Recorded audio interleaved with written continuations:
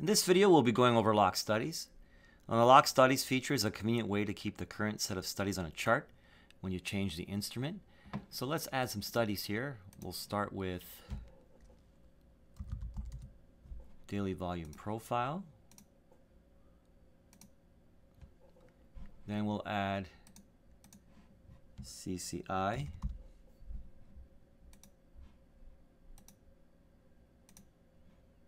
Okay, we'll just make this a bit bigger here. Now, if we want to keep this, these studies always when we pull up a chart, one option is to use the lock studies. So we can go under view, then select lock studies. And now if we were to change symbol,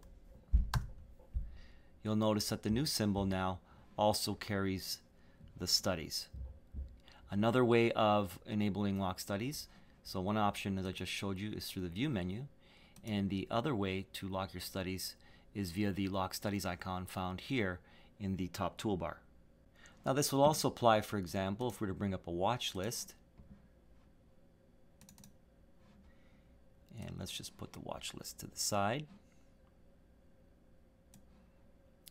Since we have lock studies on, now as we select other symbols here, those studies will also carry over.